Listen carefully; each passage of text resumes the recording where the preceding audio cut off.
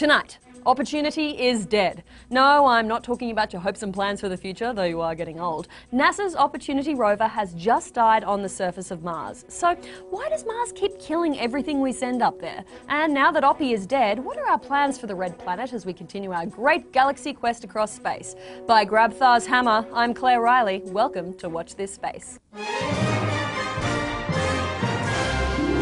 From the CNET studios in Sydney, this is your guide to everything on Earth you need to know about space. And tonight, life on Mars.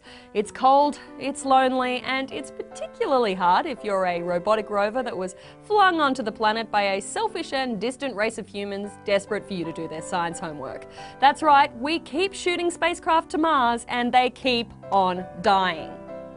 Opportunity is just the latest.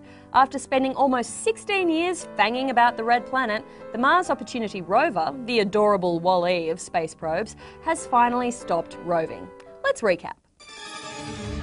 Launched in 2003, Opportunity was part of the Mars Exploration Rover mission alongside its twin rover, Spirit. Both rovers touched down in January 2004. Spirit, the pushy twin, came first, followed by Opportunity three weeks later. Yikes, that can't have been a good labour. Both rovers touched down in giant craters on opposite sides of the planet, where liquid water could have once existed in the past. They set out to study rocks and soil and eventually found evidence of water, showing the red planet could have once been a wet planet that supported microbial life. The rovers lived long and prospered, going full Vulcan and living well beyond their 90 day mission timelines. Earth lost contact with Spirit in 2010, and while Opportunity tried to cling on, lasting more than 5,000 days longer than it was supposed to, its mission was eventually ended in February 2019. Opportunity eventually met its fate like all the others, dying cold and alone and far from home. Man, even WALL-E wasn't that sad. So, why does everything we shoot at Mars have to die a horrible death? Well, turns out life on Mars is really hard. With more, here's CNET's favourite. CNET's only Mars correspondent, Claire Reilly. Earth our human home. Over billions of years, conditions here have perfectly evolved to become the ideal support system for life. With plants and animals and beautifully maintained council fountains that make up our natural wilderness. But life on Mars sucks out loud, and for a Martian rover that's flown 350 million miles to a strange planet, the odds of mission success are slim. The terrain is rough, with deep craters and windswept dunes. The atmosphere is thin, and massive dust storms can cloud the planet for weeks at a time.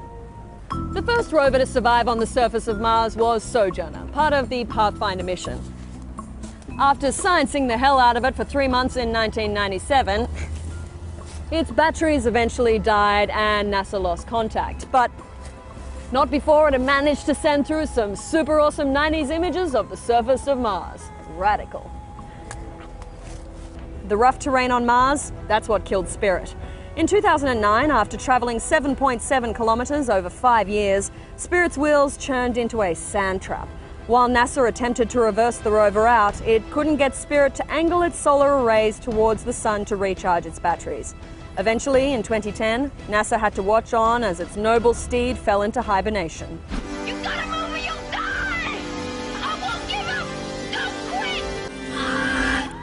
And finally, opportunity, death by dust storm. NASA lost contact with Oppie back in 2018 when a Mars-wide dust storm blocked out the sun and prevented the rover's solar arrays from storing solar energy.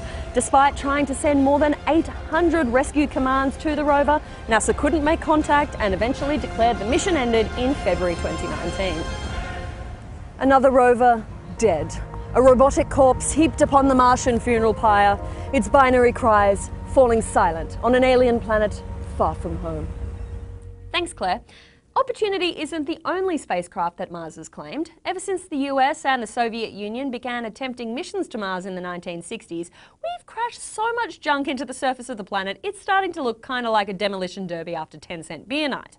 Roll the tape. 1971, the Mars 2 Soviet space probe became the first human-made object to land on the surface of Mars by crash landing. Mars 3, failed after landing. Mars 6, contact lost. NASA's Mars Polar Lander and Deep Space 2 rover, lost. UK's Beagle rover, lost. And in 2016, the Schiaparelli lander, launched by the European Space Agency and Roscosmos as part of the ExoMars program, died in a fiery crash. First Mars giveth, then Mars taketh away. But not everything up there died on impact. NASA's Viking 1 and Viking 2 landers operated on Mars for years, while the Phoenix lander confirmed the presence of water ice back in 2008. And then there's the Curiosity rover, which is still traipsing around after landing in 2012, quietly analysing the surface and climate of Mars and trying to determine whether the planet ever supported life. And not far from there, Mars's latest resident, InSight, is quietly beavering away on its mission to drill further beneath the surface of Mars than we've ever been. So, what's next? Well, after the failed Schiaparelli mission in 2016, ESA and Roscosmos are taking another crack with ExoMars 2020. The mission will launch a robotic rover complete with a built-in drill, hopefully becoming the first mission to move across the surface of Mars and study the planet at depth. And then there's NASA's Mars 2020 rover, which is set to launch to the Red Planet in mid-2020. Based on the Curiosity rover design, the rover will drill for soil and rock samples, test methods to turn the atmosphere into oxygen, and search for subsurface water, hopefully testing the waters, quite literally, for a future human expedition to the planet. If it doesn't die a fiery death first. Alright, that's it for this week's episode of Watch This Space. If you've enjoyed what you've seen, then make sure you hit the like button on your remote and subscribe to get more space news as it happens. I'm Claire Reilly for CNET. Good night and Godspeed.